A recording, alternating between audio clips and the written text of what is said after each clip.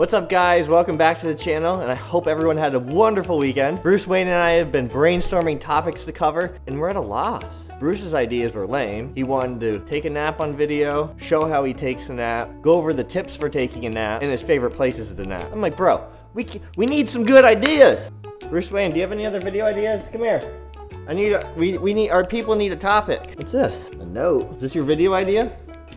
Who made me? Bro, first off, we need to work on your spelling. Yeah, you don't know how to spell. And actually, that's a good that's a good topic. Who made me? Who made Bruce Wayne? Do you guys want to see a video on who made Bruce Wayne? I tell you what, how about if we get to 100,000 subscribers in the next three months? That's completely doable, and I can only do it with you guys. 100%, I need your help to do this. If we can get to 100,000 subscribers in the next 90 days, we can do a video on Bruce's breeder and who made this dude. His head is massive. So should we do that, bro? For 100,000 subscribers, if we can do that in 90 days, I think that sounds like a good idea. But we can't do it unless you guys subscribe to the channel, hit that like button, ring my ding-a-ling so you miss any of the newest videos on Cane Corsos or Bruce Wayne. And also guys, thank you so much. The channel is growing so rapidly. If you guys really want to see this video, hit make sure you do hit that like button, but also share the video with your friends because the more you share it, the more chances are somebody's going to get subscribed, meaning the more chances we're going to hit 100,000 by 90 days from now. That's a big goal. I like to put big goals on myself. As a community, I feel like we can do it. So maybe in today's video, what we do is we discuss how we let Bruce free roam through the house at all times and just completely did away with his crate. I'm to be honest here. There's a point in time when I thought, this dude, I thought you were gonna be crated for life, bro. Yeah, he was, he wasn't always this perfect. I seriously thought that we were gonna have to leave him crated forever. Let me let me start why I thought we would never ever be able to leave this guy out of his crate. In another video I discussed working 8 plus hours a day and owning a Cane Corso, and this is why there's a point in time when I thought there's no way I could ever leave my Cane Corso not crated home alone all day long. As I discussed, he, he was great for up until about 5 or 6 months, then he started chewing the windowsills, um, then we had to crate him. Uh, then I gave it probably a few weeks and I let him back out of his crate when we were at home in the room to see how he'd react, and he went back to the windowsills, he chewed up the carpet, all these these things, it's, and it's just like one of those things, it's like, no matter how obedient your dog is, they have to have a lot of maturity and they can't be anxious. And he wasn't anxious, but he just wasn't mature enough. It wasn't until 16 months old he was able to free roam the house. And that was taking baby steps at 16 months. That's when we really, really started to push it. My previous dog was nine months. He was an English Bulldog and they mature much faster. These guys aren't fully mature till three or four. Step one, your dog has to be 100%. What are you looking at? Do you see dead people? Ever creep you out when your dog just stares at something? Like a closet? It's like, what are you looking at, bro? So, complete, complete obedience training. They have to have obedience training and house manners on lock. Unlock like this dude. And if you guys need help getting there, being a proper leader, check out the links in the description. There's some training courses, there's a puppy training guide, there's a canine boot camp, and they teach you how to be a proper leader to your dog so you can have a perfect dog with wonderful house manners like Bruce Wayne. It'll teach you how to be a proper leader. And all of this leads to better communication with your dog. If your dog doesn't know what you want from it, then how's he going to do what you want him to do? Highly, highly recommend those courses. It's basically exactly the the philosophy of how I train Bruce. And if you use code Jason, you get 10% off. So now that he's completely obedience trained, he's 16 months old. He's still in his crate at night. He's still in his crate when we leave. You got to take baby steps. So the first baby step we took, what did we do, Bruce? First off, we left the house, him not crated, literally for two minutes. That's it. Two minutes. One day, two minutes. Nothing was out of place. The next day, did it again for three minutes. The next day, four, and then the next day, five. You see the pattern here. I don't need to go through every single minute. Do I need to go through every minute? When we got to five minutes, then I bumped it up to 10 minutes. Now, dogs are very smart. They know when you actually leave. They can watch you go down the driveway, they can hear the car pull away. So every time we did this, I literally got in the car and pulled away, even if it was just for a minute. Now I wanted to extend it. There is no incidences. If there is an incidence where any of those times he got into something he wasn't supposed to, I would have had to recreate him and give it another couple weeks because he wasn't mature enough. Because remember, we don't want to create a habit, meaning we don't want to create any fails. We want as many successes as possible, right, bro? As many successes. So after five minutes, moved it to 10. Then I'm like, all right, let's let me take a trip to the store, see how he does. He was fine. So now we're at 20 minutes or so.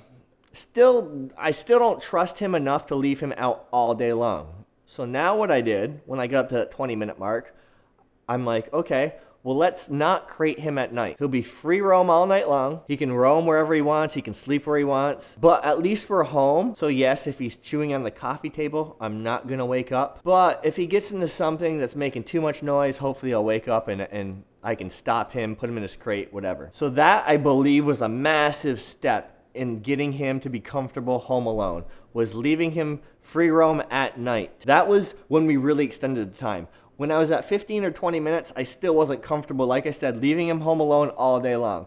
So this was the big first transitional step. Not crating him at night. I leave the bedroom door open. We had a bed next to the bed where he could sleep if he wanted. It was such a massive step in, in gaining that trust of the dog, in knowing he's at least confident not being crated while we're sleeping. And I did this probably for about a two weeks or so before I extended his daytime completely home alone time. Again, no incidences. Let's extend the 20 minutes home alone to let's not create him when I go to the gym in the morning. It's a half hour each way to the gym, so there's at least an hour. And then on top of that, I'm working out for an hour, hour and a half. So we're talking he's home alone now two, two and a half hours. He did wonderful. Almost. Do you remember when you chewed up the uh, that chest? Yep. He chewed us. He chewed up some furniture. But what happened was my wife's sister forgot something at the house the night before. She texted my wife. My wife told her just to go and get it. The dog's not crated. I didn't know about this until after the fact. My wife texted me, Alyssa came and picked up her glasses this morning. The dog moved on me. Bruce, I can't even see. There you go. Okay. I guess this is how we're doing it. So the first thing that went through my mind is no, somebody came in the house when the dog was home alone. It's gonna cause some weird anxiety in him and he's gonna destroy something. Well, what do you think happened? He destroyed something. Nothing was destroyed when my sister-in-law came over. She came over, got her glasses, probably pet the dog. Now that created a anxiety in the dog because he's not used to a stranger coming over. And not a stranger, she knows her very well, but he knows she doesn't live here.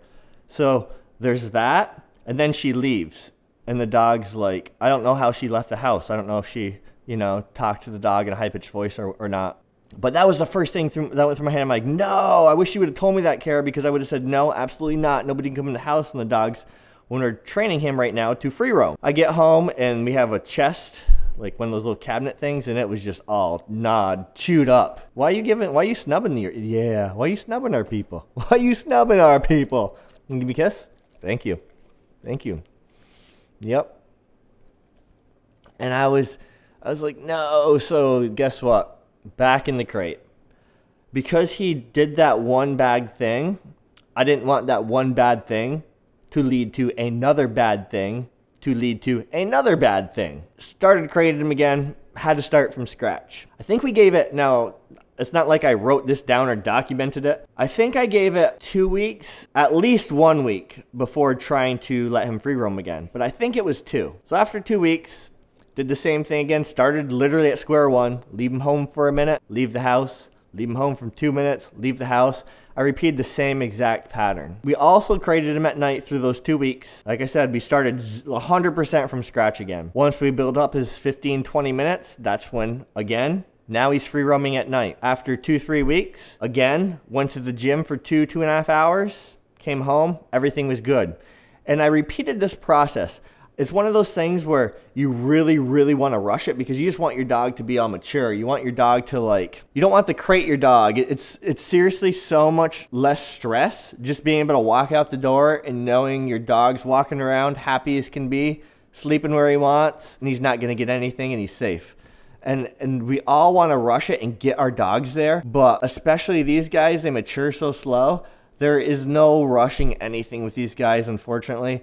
It takes a lot of time it takes a lot of patience. You have to have amazing communication with your dog. Your dog has to be on point at all times. So that is the process I followed. There's no secret sauce, there's no magic recipe. It literally was just doing that after I had him 100% obedience trained. Anybody has a Corso, they all are going to mature at slightly different rates. Like I said, he was around 16 months when I tried it, and I had to, I did have to start over once. So I would wait 14 to 18 months. Anybody that wants to try this with the Corso, if you have a breed that matures sooner, obviously you can do it sooner than that. Start slow.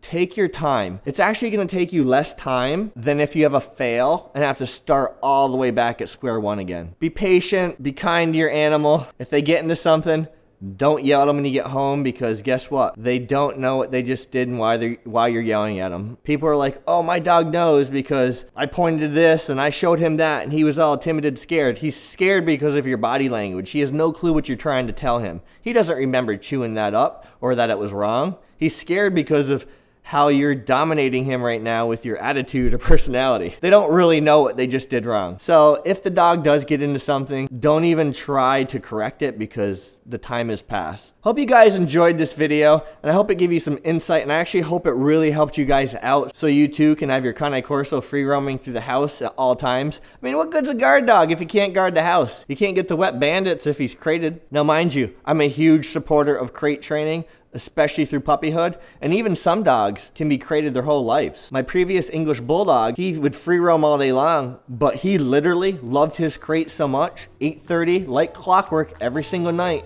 he'd go to his bedroom and just stand there and stare at us because he literally wanted us to put him in his crate and lock it. So don't shy away from crate training. It's a wonderful tool, guys. Bruce Wayne and I will see you guys soon. Don't forget our goal. We have big goals on this channel, and I would absolutely love it if we could hit 100,000 subscribers in the next 90 days. So don't forget to share the video, tell all your friends about Bruce Wayne, do all the things, like, subscribe, ring the dinglings, and Bruce Wayne and I will see you soon.